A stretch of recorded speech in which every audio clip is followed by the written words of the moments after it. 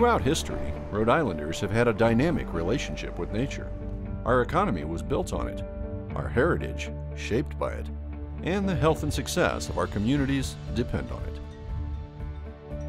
Since the Industrial Revolution, the world has been rapidly burning fossil fuels to power our cities, drive our cars, heat and cool our homes, and to produce food and other products. But when we use fossil fuels like coal, oil, and gas, we pump more and more carbon dioxide into the atmosphere. This buildup creates a blanket like effect, trapping in heat around the world. If nothing is done to halt this process, the planet we leave our children will be hotter, with more extreme weather and flooding, fewer species of plants and animals, and ever growing threats to the health and well being of our communities. Rhode Island is no exception and has already been experiencing these realities of a destabilized climate. The Pawtuxet River starts in Scituate and meanders 12 miles to Narragansett Bay. Diverse populations enjoy the river's beauty, but also understand its power and force. In March of 2010, Rhode Island experienced a series of intense rain events that dumped more than 20 inches of rain in just 38 days. This impacted the Pawtuxet, Wood, and Pawcatuck rivers and their tributaries, washing out bridges and dams and flooding hundreds of homes and businesses in their path including the Warwick Wastewater Treatment Facility. You could barely see the top of those pipes. Those supply air to the biological system. You could just barely see the top of those pipes. At the back of the facility here, we had about 10 feet of water, and then at the higher end of the facility there in my office, uh, six feet of water. It doesn't rain like it used to. Rains used to fall in kind of nice steady rains that soak nicely into your grass. And now it rains either not at all or it rains like crazy, you know, rains greater than two inches in accumulating fresh water in a less than 24 hour period. And that's what we call an extreme rain event. Submerged under floodwaters, the Warwick Wastewater Treatment Facility was forced to evacuate. It would take weeks before the staff reclaimed operational control of the plant and incoming sewage could be treated properly. For the first time, Janine found herself in uncharted waters. I've been in this business for about 20 years now, and it wasn't until the 2010 flood that I had had to deal with FEMA, a federally declared disaster, and I think at some point the regulators will force us to look at longer planning cycles. We're working on protecting this facility better. And when we plan, you know, instead of a 20-year time frame that we normally would, would look at when we're doing facilities plans, you need to be thinking like 50, 100 years out. And what's, what's this city going to look like with its 39 miles of coastline in 50 years? Severe rain events and inland flooding are not the only water problems Rhode Islanders are dealing with. Coastal cities and towns are experiencing sea level rise, erosion, stronger storms, and higher storm surges, leaving these communities environmentally and economically vulnerable. In October 2012, Superstorm Sandy hit Rhode Island, and the results were destructive.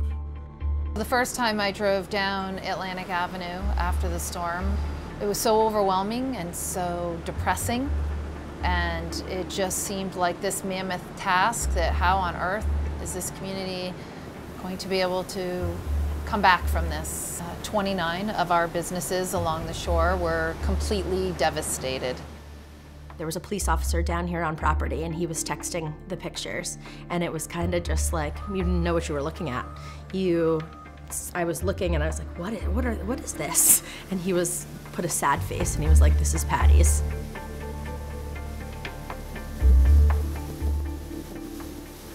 After a big storm, the question is always rebuild or retreat.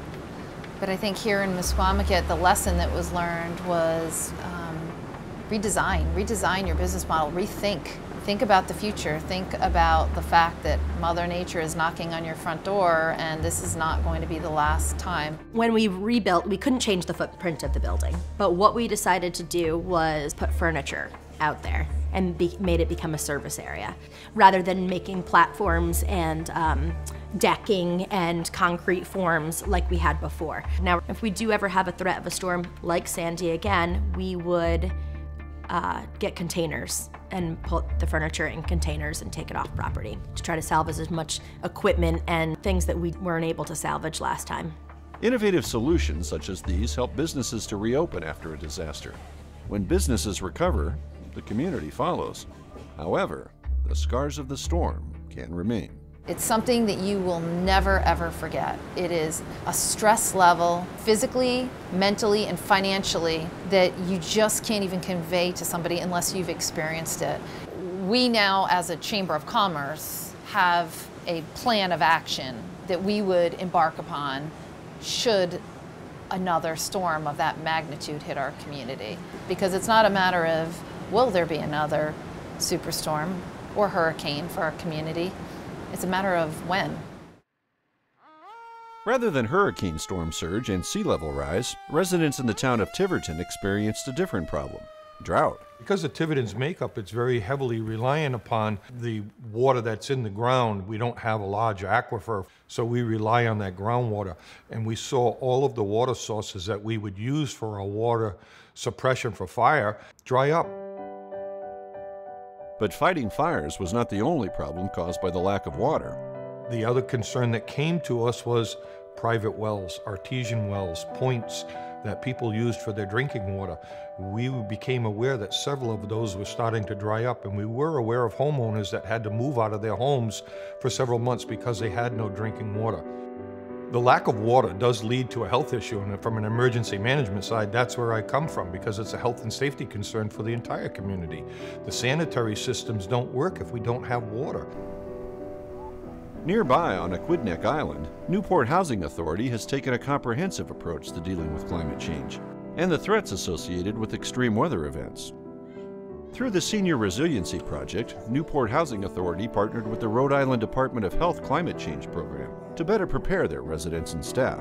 The site assessments that uh, the Department of Health did with Yale New Haven, actually walking through and informing the housing authority that it would be beneficial for 85 units to maintain, you know, a gallon of water per person per day.